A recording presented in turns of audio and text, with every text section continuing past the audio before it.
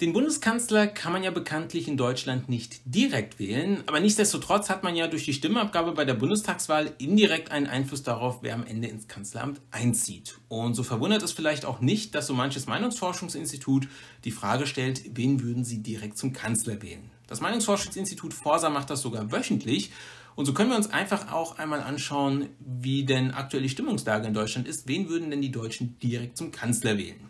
Die Datengrundlage für dieses Video stammt also vom Meinungsforschungsinstitut Forsa und der Stand der Dinge ist vom vergangenen Montag, also dem 12. Dezember und wir werden jetzt gleich Werte sehen für Olaf Scholz, Friedrich Merz, Robert Habeck und Annalena Baerbock. Ja, fangen wir mal mit dieser Grafik an. Hier sehen wir zunächst einmal Werte für Scholz und für Merz. Wir sehen Werte vom 23. November des vergangenen Jahres bis zum 6. Dezember diesen Jahres und was sehr auffällig ist, ist dieser doch sehr krasse Knick hier in der Kurve von Olaf Scholz. Da ist ja irgendetwas passiert. Und an dieser Stelle sei gesagt, ab Juli, August gibt es eben zwei verschiedene Kurvenverläufe, sowohl für Scholz als auch für Merz. Und das hat den folgenden Grund. Dieser Knick erklärt sich nämlich dadurch, hier seht ihr es übrigens, wie es ohne Knick aussieht, dazu dann gleich nochmal was, äh, dieser Knick erklärt sich dadurch, dass Robert Habeck als Antwortoption hier hinzugefügt worden ist. Und es gibt bei Forsa seit diesem Moment, seitdem Robert Habeck eingeführt worden ist, keine Ergebnisse mehr nur für das Duell zwischen Scholz und Habeck.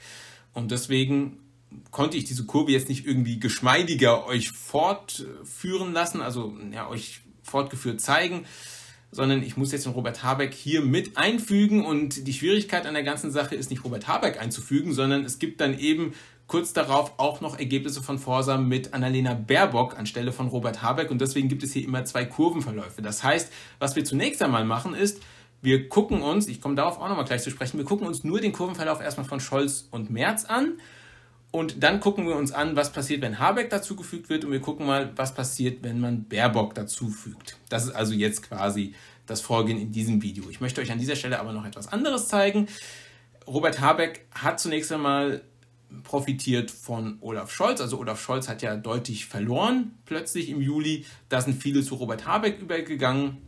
Und auch die Kurve für keiner weiß nicht ist deutlich nach unten gegangen. Da sind also viele zu Robert Habeck übergegangen. Aber der Unterschied zwischen der Kurve von Olaf Scholz und der von keiner weiß nicht ist, dass diese keiner weiß nicht Kurve nach ein paar Wochen wieder das Niveau hatte wie vor der Einführung von Robert Habeck als Antwortoption, während eben die Kurve von Olaf Scholz sich nicht mehr erholt hat von diesem Einbruch und äh, seitdem eben auch nicht mehr ja, die 30%-Marke überschritten hat und in der Regel jetzt nur noch zwischen 20 und 25 Prozent liegt. Aber wir gucken uns gleich mal an, wie das hier in dem Triell aussieht. Schauen wir erstmal nur auf das Duell zwischen Scholz und Merz.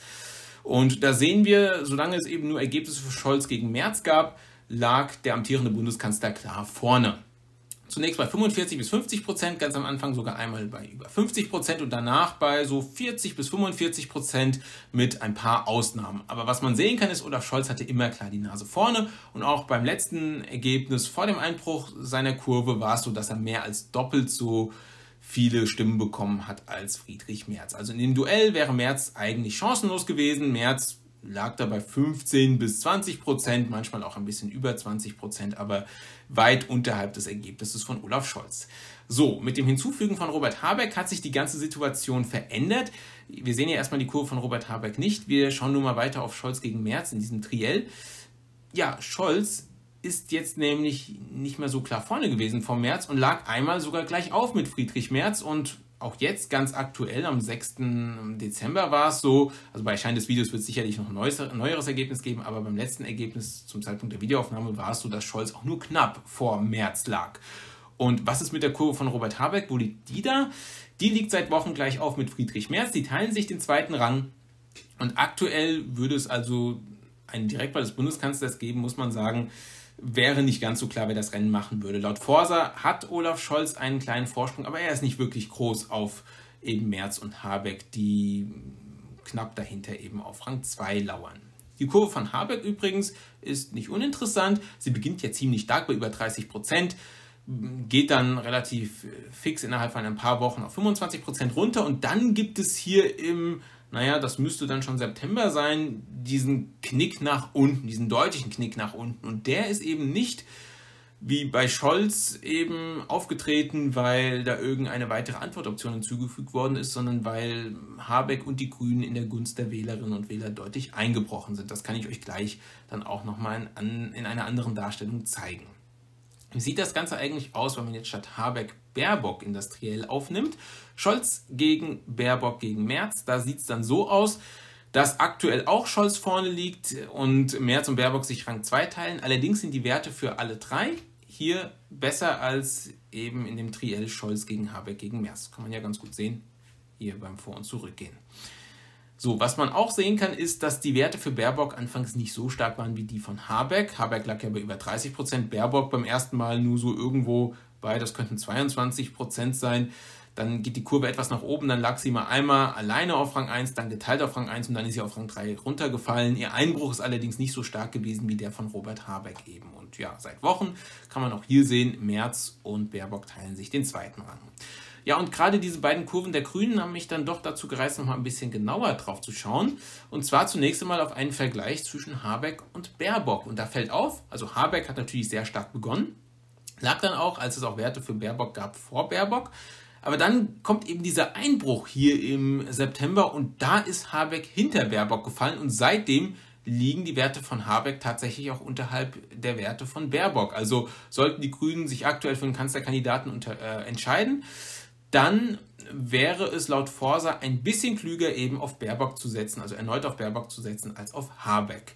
Und ich habe ja gesagt, Habecks Einbruch und der Einbruch der Grünen insgesamt liegen in dem gleichen Zeitraum. Das kann man nämlich hier sehen. Habecks Kurve hier wieder in hell.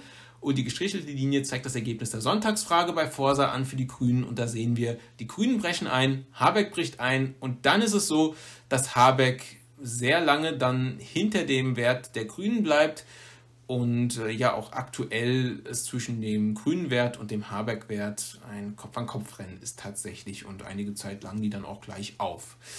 So, das ist bei Annalena Baerbock ein bisschen anders. Sie liegt in den letzten Wochen dann doch immer oberhalb des Wertes von den Grünen bei der Sonntagsfrage. Aber das jetzt nur mal als kleiner Exkurs. Das eigentliche Thema des Videos war es ja, wen würden die Deutschen eben direkt zum Kanzler wählen. Im Triell Scholz gegen Habeck gegen Merz ist es ein enges Rennen mit leichten Vorteilen für den amtierenden Kanzler und im Triell Scholz gegen Baerbock gegen Merz ist es auch ein Kopf-an-Kopf-Rennen, ein ziemlich enges Rennen zumindest, aber auch hier mit Vorteilen für den amtierenden Kanzler. Ja, und jetzt seid ihr dran. Ihr könnt nämlich gerne mal kommentieren, wen ihr von den jeweiligen Kandidaten direkt zum Kanzler wählen würdet, beziehungsweise wen ihr denn zum Kanzler wählen würdet. Das soll es an dieser Stelle von meiner Seite aus gewesen sein. Und so setze ich zum Abschluss dieses Videos einen Punkt.